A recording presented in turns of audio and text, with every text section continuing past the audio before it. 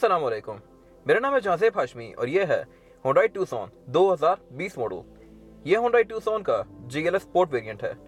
इस गाड़ी में पाकिस्तान में टोटल दो वेरिएंट्स आते हैं जी एल स्पोर्ट और G L ultimate G L sport जो है, वो इस गाड़ी का फ्रंट व्हील ड्राइव यानी कि बेसिक वेरिएंट है, और जी एल अल्टीमेट जो है, वो इस गाड़ी का ऑल व्हील ड्राइव वेरिएंट है, यानी कि top of line overall it's a good car and today I am going to review it let's start with the interior of the car मेरी ओपिनियन में टूसॉन का इंटीरियर काफ़ी खूबसूरत है। इस गाड़ी का डैशबोर्ड एज़ कंपेयर टू किया काफ़ी अच्छा है। और इसके डैशबोर्ड में दो लेयर्स दी गई हैं, जो कि इसके डैशबोर्ड को काफ़ी अच्छी लुक देती हैं। इसमें मल्टीमीडिया स्क्रीन भी 10.1 इंचेस की दी गई है, जो कि काफ़ी मैसिव है, और पाकिस्तानियों की ज़रूरियात के मुताबिक है। उसके बारे में बात कीजिए इस गाड़ी का स्टेयरिंग व्हील की तो इस गाड़ी का स्टेयरिंग व्हील भी काफ़ी खूबसूरत है, और ये फोर स्पोक के साथ आता है। इसका मटेरियल भी काफ़ी प्रीमियम है। ये ऊपर यहाँ पे लेदराइट की फिनिश में दिया गया है, और बीच में ये हॉर्न वाला एरिया इसका प्लास्टिक का है। लेफ़्ट राइट स्पोक पर दोनों में डिफरेंट कंट्रोल्स दिए गए हैं। लेफ़्ट स्पोक पर जो डिफरेंट कंट्रोल्स हैं, ये मल्टीमीडिया सिस्टम के हैं। यहाँ से आप वॉल्यूम अप वॉल्यूम डाउन कर सकते हैं कॉल अटेंड कॉल डिक्लाइन कर सकते हैं मोड सेलेक्ट कर सकते हैं और वॉइस मेमो के। और राइट वाइज को जो कंट्रोल्स दिए गए हैं, ये दो डिफरेंट कंट्रोल्स हैं। ये वाले कंट्रोल जो हैं, ये इस गाड़ी के एम डिस्प्ले के हैं और जो उसके बाद कंट्रोल्स दिए गए हैं, ये क्रूज़ के हैं। यहाँ से आप इस गाड़ी का क्रूज़ इनेबल डिसेबल कर सकते हैं और स्पीड कम या ज़्यादा कर सकते हैं इस क्रॉलर व्हील से। और उसके अलावा इस गाड़ी में टोटल दो एयरबैग्स आते हैं। एक स्टेयरिंग व्हील में माउंटेड है और एक डैशबोर्ड के अंदर। इसके बाद अगर बात कीजिए इस गाड़ी के मीटर की तो इस गाड़ी का मीटर भी ठीक है, काफ़ी खूबसूरत है। इस गाड़ी के मीटर में दो मेन डायल आते हैं। लेफ़्ट वाला डायल आरपीएम का है और राइट वाला डायल इसका स्पीडोमीटर का है। इस गाड़ी में 4.2 पॉइंट इंचेस का एम डिस्प्ले आता है, जो कि किया के कंपेरेटिवली काफ़ी ज़्यादा इंटरेक्टिव है। ये स्क्रीन इसमें बहुत सारी डिफरेंट चीज़ें दी गई हैं। यहाँ से आप इस गाड़ी की डिफरेंट सेटिंग को यहाँ सेलेक्ट कर सकते हैं। ये आपको एवरेज किलोमीटर पर लीटर वगैरह शो करवाती है ऑडोमीटर और ये इस ट्रैक के डिस्प्ले देती है। इस गाड़ी में ट्रैक भी आता है, जिसकी बात मैं आगे इस रिव्यू में करूँगा। इसके अलावा इस गाड़ी के लाइट के कंट्रोल्स भी थोड़े डिफरेंट हैं। इसमें फॉग लाइट का कंट्रोल भी यहीं पर दिया गया है, और उसके अलावा इस गाड़ी की लाइट्स में ऑटो का फीचर भी आता है। ऑटो यानी अगर आप इस गाड़ी की लाइट्स को ऑटो पर रख देंगे तो गाड़ी रात के टाइम खुद लाइट्स ऑन करेगी और दिन में खुद ऑफ़ करेगी। और लाइट्स ऑन ऑफ़ का डिस्प्ले यहाँ स्क्रीन के अंदर आ रहा होता है साथ साथ कि आपकी लाइट्स ऑन है? या ऑफ़ है। लेफ़्ट फिर इसके विंडशील्ड वॉशर के कंट्रोल दिए गए हैं। विंडशील्ड वॉशर्स में दो आते हैं फ्रंट और रेयर दोनों। और उनको आप यहाँ से कंट्रोल कर सकते हैं। टू सोन में विंडशील्ड वॉशर ऑटोमेटिक नहीं आता, जबकि स्पोर्टेज के अंदर विंडशील्ड वॉशर ऑटोमेटिक आता है। लेकिन मेरे ख्याल में ये इतना मैटर नहीं करता। इस गाड़ी में ऐसी और बहुत सारी चीज़ें हैं, जो कि स्पोर्टेज के अंदर नहीं आती और जो होनी चाहिए थी, जो कि वाकई मैटर करती हैं। जैसे कूल बॉक्स इसके बारे में बात कीजिए इस गाड़ी के डैशबोर्ड की। तो इस गाड़ी का डैशबोर्ड भी काफ़ी खूबसूरत है और ये मल्टीपल लेयर्स के अंदर है। एक ऊपर लेयर दी गई है, यहाँ पे। ये सॉफ्ट टच पैडिंग की फिनिश के अंदर है, उसके बाद ये एक नीचे ब्लैक वाला एरिया दिया गया है, ये भी लेदराइट की फिनिश में है, और उसके बाद ये नीचे वाला एरिया थोड़ा चीप प्लास्टिक की फिनिश में है, जो कि थोड़ी सी चीप लुक देता है, लेकिन स्टिल इट्स ओके ये वाले दोनों मटेरियल काफ़ी प्रीमियम है, और इस गाड़ी के डैशबोर्ड को काफ़ी अच्छी लुक देते हैं। एयरवेंट्स इस गाड़ी में छः आते हैं, चार डैशबोर्ड में, और दो रेड पैसेंजर्स के लिए। इस गाड़ी का डैशबोर्ड काफ़ी खूबसूरत है, और सेंटर में यहाँ पर इस गाड़ी के डैशबोर्ड में, ये 10.1 इंच का एंड्रॉयड मल्टीमीडिया सिस्टम दिया गया है।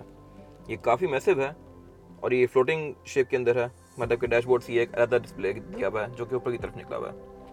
मल्टीमीडिया सिस्टम के कंट्रोल्स यहाँ पर दिए गए हैं। यहाँ से आप इसका वॉल्यूम आप वॉल्यूम डाउन कर सकते हैं और डिफरेंट मोड्स के बीच में स्विच कर सकते हैं। मल्टीमीडिया स्क्रीन से नीचे यहाँ पर इसके दो एयरमेंट्स दिए गए हैं, जिसके आसपास सिल्वर लाइनिंग दी गई है, जो कि काफ़ी चलुक देती है इसको। और उससे नीचे इसका क्लाइमेट कंट्रोल आता है। क्लाइमेट कंट्रोल इस गाड़ी में डुअल जोन आता है, जो कि मोस्टली टोयोटा अपनी बड़ी कार्स में ऑफ़र करता है। छोटी कार्स में ये चीज़ नहीं आती। इस प्राइस रेंज में ये काफ़ी अच्छी चीज़ है। क्लाइमेट कंट्रोल को आप यहाँ से ऑन कर कर इसके टेम्परेचर को ड्राइवर और पैसेंजर अपनी मर्ज़ी के लिहाज से एडजस्ट कर सकते हैं। जैसे भी ये सिंक पर है तो ये दोनों का टेम्परेचर सेम रहेगा। लेकिन सिंक ऑफ़ कर दूँगा तो ड्राइवर अपनी मर्ज़ी के लिहाज से टेम्परेचर एडजस्ट कर सकता है अपने इवेंट्स का और पैसेंजर अपनी मर्ज़ी के लिहाज से। जैसे कि आप देख सकते हैं ड्राइवर का टेम्परेचर थर्टी वन है और पैसेंजर का ट्वेंटी थ्री अगर आप सिंक ऑप्शन ऑन कर देंगे तो ये दोनों सेम हो जाएँगे। ऑटो का फीचर ऑन करने के लिए यहाँ पर ये बटन दिया गया है। तो गाड़ी ऑटोमेटिकली फ़ैन स्पीड कम या ज़्यादा करेगी कैबरे के टेम्परेचर को इस लिहाज से एडजस्ट करने के लिए। ऑटो ऑफ़ कर देंगे तो अपनी मर्ज़ी के लिहाज से इसको यूज़ कर सकते हैं। बीच में ये डिस्प्ले दिया गया है, जो कि ठीक है, काफ़ी अच्छा है। और उसके अलावा इसमें फ़िल्टर भी आता है, जिसकी यहाँ पे मेंशन किया हुआ है क्लीन एयर क्लाइमेट कंट्रोल से नीचे यहाँ पर एक और एरिया दिया गया है, जहाँ पे U S input aux output दी गई है। और उसके अलावा ये ट्वेल्व वोल्ट का पावर आउटलेट दिया गया है यहाँ पर जहाँ से आपको अपना फ़ोन वगैरह चार्ज कर सकते हैं अगर आपने एक, एक और भी लगाना है। और उसके अलावा यहाँ पर सिगरेटर भी आता है इस गाड़ी के अंदर। इस गाड़ी में जो एक और बहुत अच्छी चीज़ है जो कि स्पोर्टेज के अंदर नहीं आती वो ये है कि इस गाड़ी में वायरलेस चार्जिंग पैड आता है। आप अपनी गाड़ी में बैठकर अपना फ़ोन यहाँ पर प्लेस कर देंगे तो आपका फ़ोन ऑटोमेटिकली चार्ज होगा। और इसको ऑन या ऑफ़ करने के लिए यहाँ पर पे बटन दिया गया है जिससे आप इसको ऑन या ऑफ़ कर सकते हैं। ये पाकिस्तान में किसी गाड़ी में नहीं आता और ये काफ़ी अट्रैक्शन है इस गाड़ी की। ये इस गाड़ी का गेयर लेवर इस गाड़ी में ऑटोमेटिक ट्रांसमिशन आती है तो इसमें जो गेयर सिलेक्शन दी गई है, वो है पी आर एन डी और प्लस और माइनस इस गाड़ी को आप मैनुअली भी चला सकते हैं डी पर लाकर आप अगर इसको राइट पे करके प्लस माइनस में करेंगे तो आप अपनी गाड़ी के गेयर अपनी मर्ज़ी के लिहाज से आप ये डाउन कर सकते हैं। गेयर लेवर के साथ यहाँ पर एक एक कॉइन होल्डर दिया गया है और उससे पीछे यहाँ पर इस गाड़ी के दो कप होल्डर्स आते हैं, जो कि ओपन ही हैं, इनको क्लोज नहीं किया जा सकता। गेट से पीछे यहाँ पर इस गाड़ी के डिफरेंट कंट्रोल्स दिए गए हैं। ये इस गाड़ी की हैंड ब्रेक दी गई है। हैंड ब्रेक इस गाड़ी के अंदर इलेक्ट्रॉनिक आती है। इसको ऊपर कर कर आप इंगेज कर सकते हैं और पुश कर कर डिसंगेज इसमें आपके ट्रेडिशनल हैंड ब्रेक नहीं आती जिसको आप ऊपर खींचेंगे। और उसके अलावा इस गाड़ी में ये ब्रेक का ऑटो होल्ड का फीचर आता है, जो कि काफ़ी अच्छी चीज़ है। इससे पहले सिविक में आता था। यानी कि अगर आप कहीं चढ़ाई वगैरह पर खड़े हैं तो आप इस ऑटो होल्ड को दबा देंगे तो गाड़ी ऑटोमेटिकली ब्रेक दबा के रखेगी, तब तक जब तक आप गाड़ी का एक्सीटर दोबारा नहीं दबाते। यहाँ से आप इस गाड़ी के ड्राइव मोड सेलेक्ट कर सकते हैं। ड्राइव मोड्स के जो इसमें ऑप्शन आते हैं वो ये हैं तीन। ड्राइव मोड का कंफर्ट इको और स्पोर्ट स्पोर्ट में इस गाड़ी के गेट्स वगैरह काफ़ी हाई आर पी रेस हो जाते हैं और उसके अलावा इस गाड़ी का मीटर की थीम भी ये पूरी रेड हो गई है। कंफर्ट में ये वाइट है इको में ग्रीन हो जाती है इसकी थीम और स्पोर्ट में रेड और उसके अलावा नीचे यहाँ पर देखिए डाउन हिल का कंट्रोल दिया गया है। डी यानी डाउन हिल कंट्रोल ये आपके लिए उतराई पर काफ़ी काम आता है। यानी कि गाड़ी ऑटोमेटिक ब्रेकिंग करती है इंजन को यूज़ करते हुए। आपको खुद ब्रेकिंग नहीं करनी पड़ती, गाड़ी स्पीड को खुद कंट्रोल रखती है, अगर आप किसी पहाड़ी से नीचे की तरफ़ जा रहे हैं तो। इसके बाद अगर बात की जिस गाड़ी की सीट्स की तो इस गाड़ी की सीट्स फैब्रिक की फिनिश के अंदर आती हैं। इस गाड़ी की ये सीट्स फैब्रिक के पैटर्न में हैं और ये टेक्सचर्ड हैं। इसके बाद अगर डोर पैनल्स की बात की जाए, उसके बाद अगर डोर पैनल्स की बात की जाए तो इस गाड़ी के डोर पैनल्स भी ठीक हैं, अच्छे हैं। और दोनों गाड़ियों के डोर पैनल्स बिल्कुल आइडेंटिकल हैं। इनमें कोई फ़र्क नहीं आता आर्मडेस्क के ऊपर यहाँ पर इसमें लेदर आता है, और उसके अलावा ये डुअल कॉम्बिनेशन के साथ हैं। ब्लैक वाला एरिया सॉफ्ट टच पैडिंग की फिनिश के अंदर है, और वाइट वाला एरिया चीप प्लास्टिक है।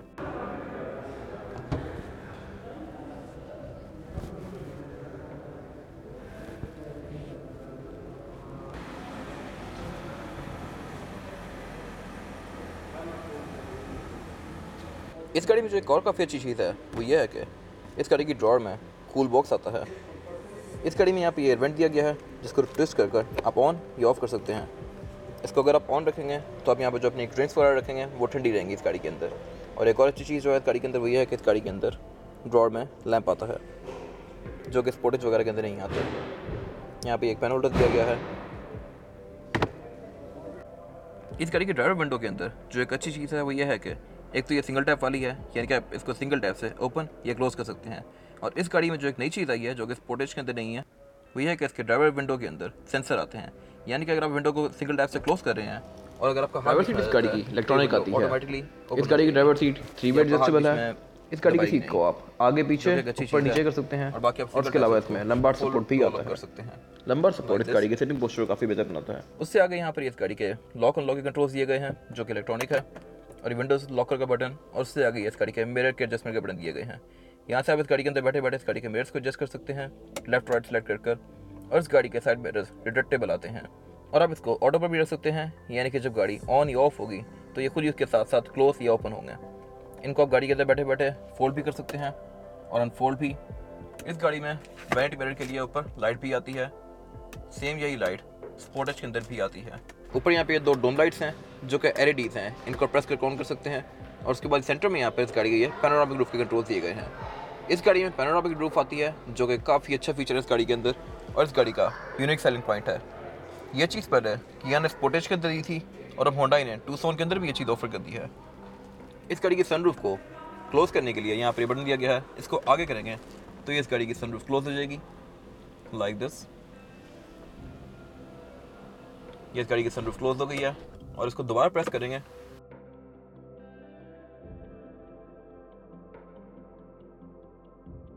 तो इस गाड़ी की पैनोरामिक रूफ का शटर भी क्लोज हो जाएगा।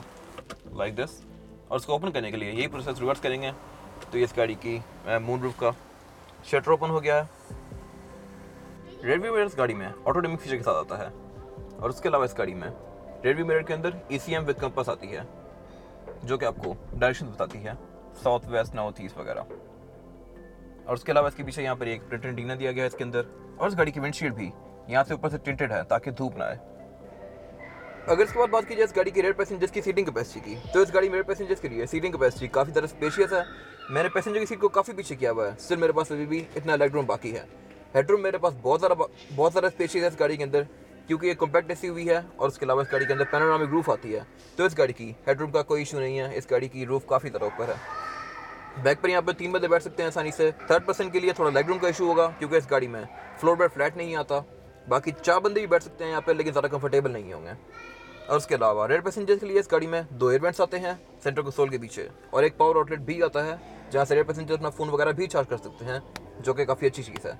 बैक डोर्स में दो स्पीकर आते हैं और बॉटल होल्डर भी आते हैं, और उसके अलावा रेड पैसेंजर्स के लिए यहाँ पर ये केबिन लाइट्स भी दी गई हैं, जो कि सिविक रिबॉन में आती थी और किया स्पोर्टेज में आती हैं, जो कि काफ़ी अच्छी चीज़ है, ये रीडिंग लाइट्स हैं, और रेड पैसेंजर्स रेड पैसेंजर्स को ये काफ़ी हेल्प करती हैं रात के टाइम। क्योंकि इस गाड़ी में पैनोरामिक रूफ है तो ऊपर यहाँ पे कोई लाइट नहीं आती बीच में तो इसमें यहाँ पे ये रीडिंग लाइट्स दी गई हैं। सेंटर में यहाँ पे ये सेटर को सोल है, जो कि लेदर के फिनिश के अंदर है। इसको ओपन करके आप ऐसा आमरेस्ट यूज़ कर सकते हैं, या इसके दो कप होल्डर्स को एक्सेस कर सकते हैं। इसके अलावा कोट होल्डर भी दिया गया है इस गाड़ी के अंदर बैक पर और हेडरेस्ट भी इस गाड़ी में तीन हंड्रेड पैसेंजर्स के लिए आते हैं। बैक पर यहाँ पे कोई एयरबैग्स नहीं है, जो कि मेरे ख्याल में होने चाहिए थे, लेकिन इस गाड़ी में नहीं है, और उसके अलावा सीट बेल्ट इस गाड़ी में तीन हंड्रेड पैसेंजर्स के लिए आती हैं। इसके बाद अगर बात कीजिए इस गाड़ी के एक्सटीरियर की तो इस गाड़ी का एक्सटीरियर काफ़ी इंप्रेसिव है। इस गाड़ी का front as compare to Sportage काफ़ी अग्रेसिव है। ये होंडा होंडाई की हेक्सागोनल ग्रिल जो कि सिग्नेचर ग्रिल है होंडाई की।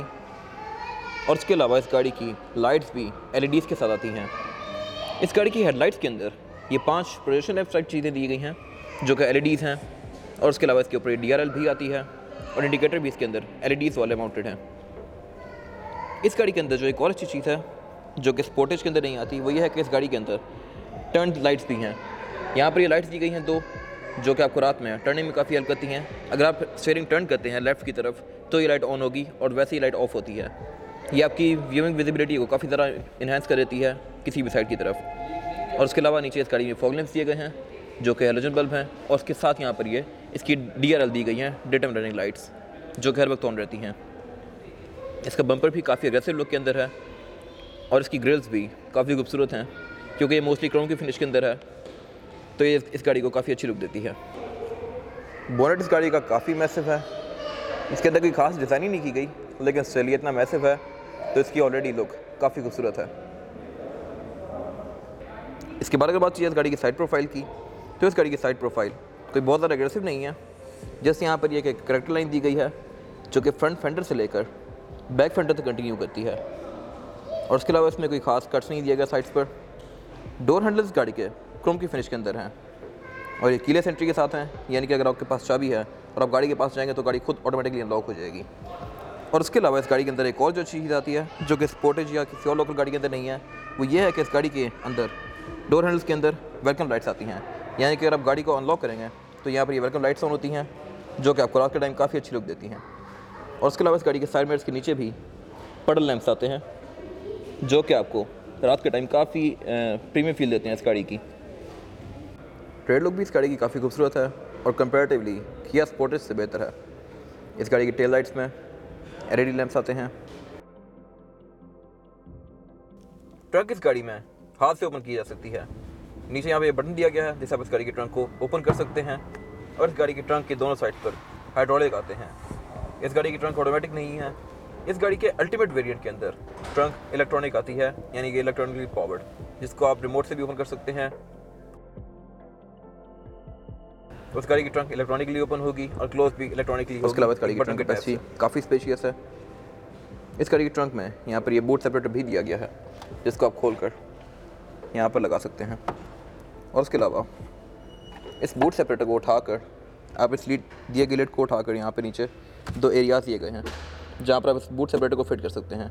किया स्पोर्टेज के अंदर भी सेम टू सेम यही बूट सेपरेटर आता है और इसके यहाँ पर स्लॉट्स होते हैं जहाँ पर आप इसको उठा कर रख सकते हैं।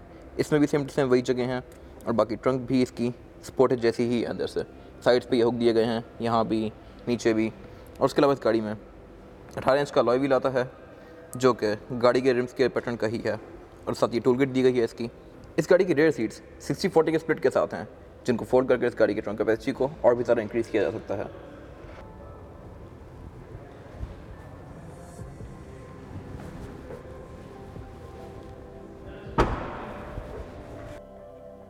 ये इस गाड़ी का स्टार्टअप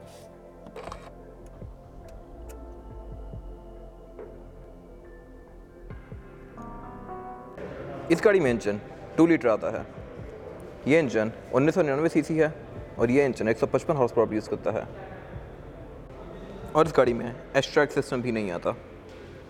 ये गाड़ी एस्ट्रैक सिस्टम के बगैर आती है और इसमें इंजन की पावर सिर्फ़ फ्रंट व्हील्स के ऊपर डिस्ट्रीब्यूट होती है। ऑल व्हील ड्राइव वेरिएंट के अंदर पावर ऑल व्हील्स पर डिस्ट्रीब्यूट होती है। और इस कार में सिर्फ़ फ्रंट व्हील्स पर। बाकी उसके अलावा ये गाड़ियाँ टोटली आइडेंटिकल हैं। इंजन में और कोई फ़र्क नहीं आता। A B S electronic power steering वगैरह इसके अंदर भी कंपनी स्टैंडर्ड आते हैं। टायर से जो आता है इस गाड़ी में वो है 225, 55 और 18 इस गाड़ी में 18 इंच के अलॉय व्हील्स आते हैं और इस गाड़ी के दोनों ही वेरिएंट्स के अंदर यानी फ्रंट व्हील और ऑल व्हील ड्राइव वेरिएंट के अंदर स्पेयर व्हील भी अलॉय व्हील आता है 18 इंच का। स्पोर्टेज के अंदर फ्रंट व्हील ड्राइव के अंदर बैक पर स्टील रिम आता था। जबकि ट्यूसॉन में पाँचों ही अलॉय व्हील्स आते हैं। व्हील की व्हील्स के आसपास ये ब्लैक कलर के बॉर्डर्स दिए गए हैं, जो कि मोस्टली कॉम्पैक्ट एस यू के अंदर होते हैं। रश वगैरह के अंदर भी हैं और इसमें भी हैं। इन दोनों गाड़ियों में चार बेसिक डिफरेंसेस हैं। पहला डिफरेंस जो है, वो इस गाड़ी की सीट्स का है। इस गाड़ी में फैब्रिक की सीट्स आती हैं, जबकि दूसरी गाड़ी में पूरी लेदर की सीट्स आती हैं। दूसरा डिफरेंस ये है कि इस गाड़ी में फ्रंट सीट्स दोनों जो हैं वो ड्राइवर की सीट इसमें इलेक्ट्रॉनिक आती है और पैसेंजर की सीट मैनुअल आती है, यानी कि हाथ से एडजस्ट करने वाली। दूसरी गाड़ी में स्पोर्ट, अल्टीमेट वर्जन में दोनों सीट्स इलेक्ट्रॉनिक आती हैं। उसके अलावा इन दोनों गाड़ियों में टेल गेट का फ़र्क है। इस गाड़ी में टेल गेट हाथ से खोलने वाला आता है और अल्टीमेट वेरिएंट के अंदर टेल गेट इलेक्ट्रॉनिक है। और उसके अलावा चौथा डिफरेंस जो है, जो कि सबसे मेन है, वो ये है कि ये गाड़ी टू व्हील ड्राइव है, यानी कि फ्रंट व्हील ड्राइव और वो गाड़ी all wheel drive drive train के साथ आती है। यानी कि वो, उस गाड़ी का इंजन चारों टायरों पर पावर डिस्ट्रीब्यूट करता है। प्लस टॉप ऑफ़ गाड़ी के अंदर एस ट्रैक भी आता है। एयर ट्रैक एक ऐसा सिस्टम है जो कि गाड़ी की ड्राइविंग एक्सपीरियंस को काफ़ी इंप्रूव कर देता है। बाकी ओवरऑल ये गाड़ी भी ठीक है। इस गाड़ी की जो पाकिस्तान में प्राइस है, वो है फिफ्टी वन लैक्स मेरी ओपिनियन में ये गाड़ी काफ़ी अच्छी है। ये गाड़ी मेरे ख्याल में स्पोर्टिस से भी बेहतर है। और बाकी आपकी चॉइस है, जो आपने परचेज करनी हो। इन चार डिफरेंसेस के अलावा ये दोनों गाड़ियाँ बिल्कुल सेम हैं। बाकी ये था आज का रिव्यू अगर आपको ये रिव्यू पसंद आया तो इस रिव्यू को लाइक कीजिए। मेरे चैनल को सब्सक्राइब कीजिए। और अगर आपके पास इस गाड़ी से रिलेटेड कोई भी राय है तो उसको कमेंट सेक्शन में ज़रूर शेयर कीजिएगा। ताकि वो लोग जिनके पास ये गाड़ी ऑलरेडी है, या वो लोग जो ये गाड़ी लेने वाले हैं, वो आपकी राय से फ़ायदा उठा सकें। अपना ख्याल रखिएगा। Thank you